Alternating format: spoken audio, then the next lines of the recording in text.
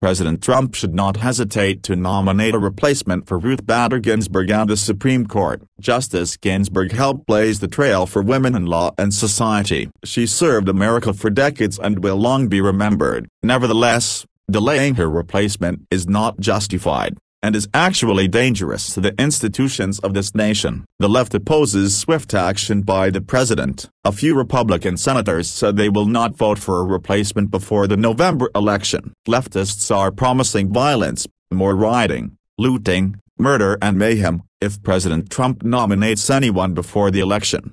A Republican senator said she would not support a pre-election nominee because, fair is fair. The implication is that following the Constitution and Senate rules is unfair. The rulebook here is the U.S. Constitution, which is silent on the timing of appointments to the Supreme Court.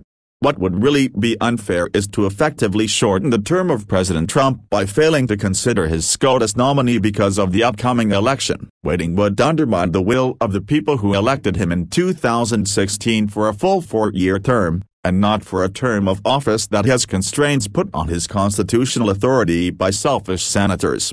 Of course, the recent riots and the outrageous misconduct of Democrat senators during the Brett Kavanaugh confirmation hearings are merely a small appetizer to the banquet of violence and vitriol that the next confirmation process will produce. The next nominee will be borked like never before. The crazies on the left are already promising to burn it to the ground, while not specifying what they will burn. If the recent mobocracy is any indication, they intend to attack anything and everyone who happens to be in their path. America cannot succumb to the threats of those who want to tear down our institutions, ruin lives and control our country through intimidation and violence.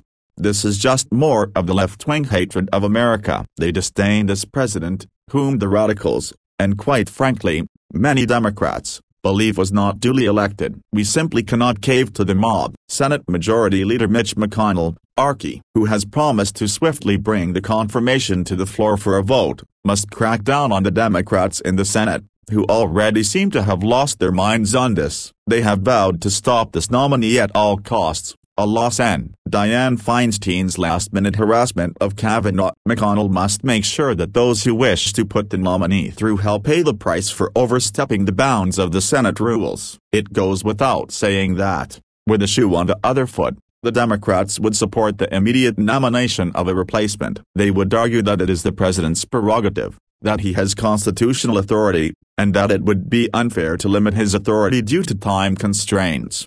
What they are saying now is that, we should wait until we have a new president to confirm a nominee. But what if President Trump is re-elected? Will they then support a nominee? Of course not. They will riot and try to make the life of the nominee a living hell. So, there is no advantage to waiting. If Joe Biden wins, will the left fall in line to allow a lame duck President Trump's nominee get a fair confirmation hearing? Nope. They will riot and try to make the life of the nominee a living hell. Again, the advantage is to a point now. What the radicals on the left wanted was for RBG to remain on the court until Trump was defeated and Biden could appoint her replacement. But it didn't happen that way. They are now mobilizing to tear the country down because things didn't go their way on RBG any more than they did in the 2016 elections. Another reason that the president and Senate must immediately act is because Democrats are laying the groundwork to steal the 2020 election. Courts in two states have already determined that they will accept ballots long after the polls are closed on November 3. It would be wise to understand that the presidential election of 2020 will likely be thrown into the lap of the U.S. Supreme Court. We need to have a full complement of justices to tackle that mess.